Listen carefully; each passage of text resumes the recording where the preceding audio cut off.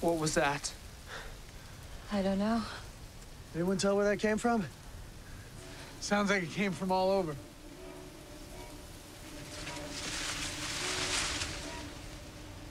Maybe he knows.